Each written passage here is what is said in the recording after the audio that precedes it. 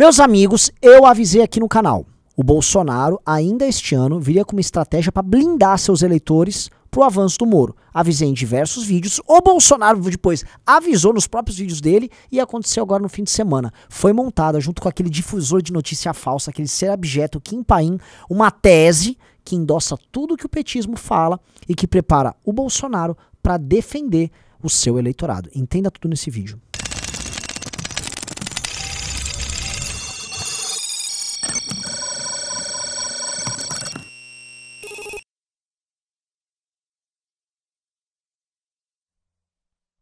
Meus amigos, antes de continuar, por favor, se inscreva no canal, clica no sininho. E mais, vou pedir mais uma coisa, dá o like no vídeo. Não dói dar o like no vídeo e fazer ele indexar para pessoas que pensam igual, sabe? Separa, espalha, vai que vai, tá bom? Façam isso também. E para debater esse tema desse vídeo, para escolherem o tema do próximo vídeo, vai no meu Telegram, t.me barra Renan Santos MBL. Entra lá, a gente tá chegando a duas mil pessoas, é a nossa pequena comunidade, a nossa aldeia gaulesa tratando de temas políticos, tá bom, pessoal? Então vamos lá, olha só. É, o Bolsonaro avisou que ele divulgaria conversas dos procuradores demonstrando que o Moro não presta. Tá? Que tinham coisas horrorosas, que o Moro estava atraindo ele. O Bolsonaro avisou. Como é que ele divulgou? Ele divulgou nas redes dele? Não. Percebam que, é, ao saber que o material não era de grande credibilidade e que a tese a ser apresentada é uma tese eminentemente política com aquele temperinho conspiratório, não foi o Bolsonaro a soltar não foi, por exemplo, os pelegos dele na Jovem Pan soltar, os Constantinos, os Fiusas. Não. Quem construiu foi um cara conhecido por difundir notícias falsas, por ser um puta de um lixão, que é um tal de Kim Paim. E esse cara pegou todo o material que o Bolsonaro falou que tinha, criou uma história, e aí o Bolsonaro, olha só que legal, pega a história criada pelo Kim Paim e divulga no próprio Twitter dele, Twitter de um presidente da República. Dá uma olhada. Agora eu quero fazer um pedido todo especial para você nesse domingo, como nunca fiz na vida. Aí tem um link. É um vídeo feito pelo Kim Paim de aproximadamente uma hora. Você tem que assistir e repassar. O que está ali, entre outras coisas, o jogo do poder de forma documentada. O que acontece, né? Assim, já é triste você saber que o presidente do teu país tem que ficar divulgando youtuber de notícia falsa, com teorias conspiratórias para poder se proteger eleitoralmente. Isso não é nem um tema relativo à, presidência da república. Tem nada a ver com ele. Ele tá simplesmente fazendo campanha política agora porque ele tá preocupado com o Moro. E aí ele divulga um youtuber, né, um delinquente desse, desse monta aí, essa figura bizarra, para fazer isso. E aí uh, a gente precisa entender qual é a tese apresentada, tá bom? O Kim Paim, ele vai misturar Alberto Youssef, Álvaro Dias, procuradores da Lava Jato, Sérgio Moro, numa história que, em coisa de 80%, é a mesma história que o PT conta. Ou seja, se utilizando do expediente da própria Vaza Jato, que o PT também usa, eles constroem a história de que a Lava Jato age de forma política também nas eleições de 2018, eleições que tiveram como grande beneficiário o próprio Bolsonaro. E aí, eles, como um grupo político, na história do PT, esse grupo político fica junto com o Bolsonaro para implementar tipo fascismo no Brasil após acabar com a democracia, tirando o Lula da, da eleição. E na história do Bolsonaro, o Bolsonaro é usado, vamos dizer, como um, um preservativo pelo pessoal da Lava Jato, que busca destruir o Bolsonaro lá e para ter duas coisas, um a PGR com o Dallagnol e o outro é ou a presidência da República ou uma vaga no STF com o Sérgio Moro. Essa aqui é a história que os dois contam, mas o que tem em comum com elas é que o juiz Moro seria um juiz parcial, um juiz corrupto, um juiz que junto com seus procuradores tem um projeto de poder. E aí a história do PT e a história do Bolsonaro, que esse Kim Paim contou agora, elas se cruzam. E aí reforçam um ataque que, vamos dizer, trariam essa pecha para o Moro, aumentariam a rejeição dele e impediriam o Moro de acessar os eleitores arrependidos do Bolsonaro, que passariam a ver o Moro como um traidor, um cara falso que ficaria nos bastidores tramando contra um aliado dele, o Bolsonaro, que só queria o bem do nosso povo. Tá ok? Só queria o bem, só queria amar o Brasil, mas não deixam, porra! Tá? Então, é, a história do Kim Paim é uma história macarrônica. Ela envolve, por exemplo, o Álvaro Dias ser uma espécie de operador político da Lava Jato. E aí o Álvaro Dias, que é citado pelo Alberto Youssef, é protegido pelos procuradores da Lava Jato, mesmo ele tendo foro privilegiado e não sendo, vamos dizer, alvo diretamente dos procuradores ali da Lava Jato. Ele teria que ser investigado pelo PGR à época, ele é senador da República e tal. Mas isso não precisa ficar de pé para ele, porque o que interessa para um cara como o Kim Paim é juntar alguns elementos fáticos, elementos da realidade, reinterpretar eles e distorcer eles de acordo com a história que ele quer contar. Então ali o Álvaro Dias vira, vamos dizer, esse operador que é protegido por eles, que é ligado ao Alberto Youssef. Aí ele vai fazer ligações lá com o Zé Dirceu, a coisa, a coisa vai se amarrando, a coisa vai ficando muito doida. Né? É, o Álvaro Dias está no Podemos, e aí ele transforma o Podemos no partido da Lava Jato e o Moro entra lá. E aí o, o Kim Paim não sabe se decidir se o, o plano era para transformar o Moro no ministro do Supremo ou o Moro num presidente da República. Mas o plano mesmo era operar em nome desse grupo político.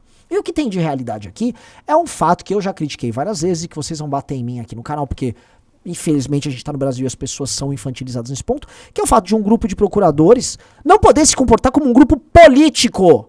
E este é o erro do Dallagnol e companhia, e as conversas que o Kim Paim divulga ali são muito ruins para eles. Vamos falar a verdade, assim, são, são conversas ruins que moram, mostram os caras é, agindo e conversando, tendo planos, tomando estratégias políticas. Ó, oh, aqui a gente se alia com o Bolsonaro, mas não quero estar com o Bolsonaro, não gosto do Bolsonaro, tá, o Bozo é ruim, ah, é melhor se o PT volta para isso, para isso, para aquilo. Lógico que alguma coisa é tirada de contexto, mas que há uma ação política coordenada e pior, aparentemente até vontade de ações jurídicas coordenadas, é meio óbvio.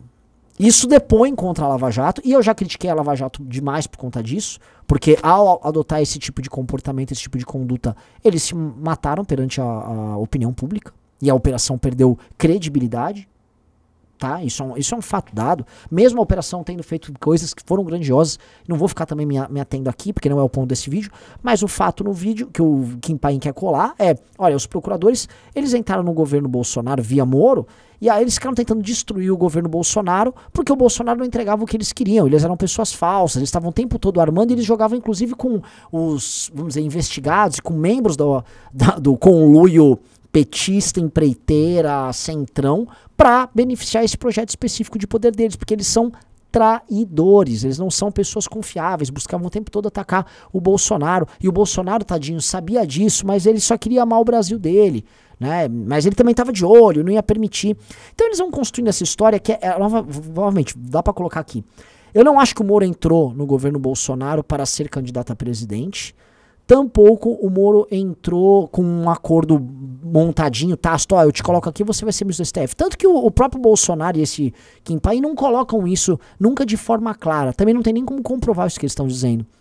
Tá? Eu acho que ele entrou ali na esteira do processo é, histórico, achou que era o momento, eventualmente poderia ter um crescimento político aqui ou ali, mas não acha que era esse o desenho dele. Ele errou em entrar no governo Bolsonaro, e esse é o ponto central. Mas a interpretação que está sendo dada ela, ela transformando o Moro no Judas, ela atinge o Moro no ponto que é o ponto central da própria candidatura do Moro, que é a honra dele, tá? Que é, vamos dizer, a ideia dele ser um homem incorruptível, um homem honesto.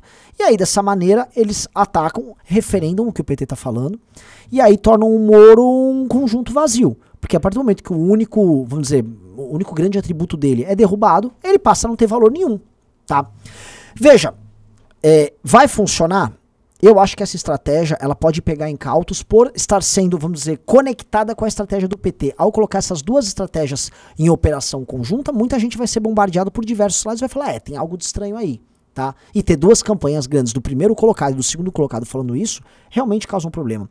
A segunda coisa que eu acho que é, é, é bem, bem, bem problemática pro Moro é o fato dele não estar tá sabendo reagir a essa história e tá tomando posições erradas. Eu fui crítico a colocar o Dallagnol no mesmo partido que ele, estavam citando o Janot, estavam citando aquele Carlos Fernando, e se isso for feito o tempo todo de forma sistemática, isso só referenda a tese dos caras. Eu acho nada a ver. Eu acho ruim. Eu acho muito ruim a ideia de ser uma candidatura que fale o tempo todo da Lava Jato, que fique evocando a Lava Jato, mesmo vamos dizer assim, é, muita gente achando legal. Ah, não, temos que ter um presidente que opere enquanto Lava Jato. Eu acho ruim. O presidente tem que governar, ainda mais depois do governo Bolsonaro, que foi um caos. O próximo tem que governar, tem que ser um governo de pacificação, não um governo de mais guerra. Tá? Mas, enfim, é, ele não está sabendo dar respostas a isso. Não acho que essa construção, inclusive argumentativa e narrativa, esteja sendo bem feita. E eu acho que esse é o calcanhar de Aquiles da candidatura dele.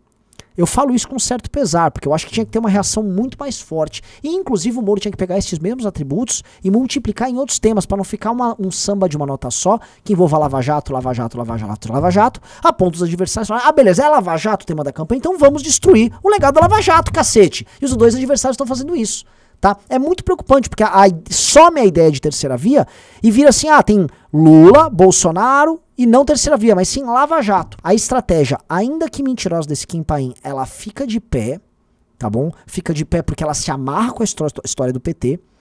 E se não houver uma construção, uma contraofensiva sólida por parte da candidatura do Moro, vai ter problema. Eu tô repetindo, vai ter problema, tá bom, pessoal? É isso aí. Esse foi meu alerta e eu espero que vocês tenham gostado. Beijos e abraços para todos vocês.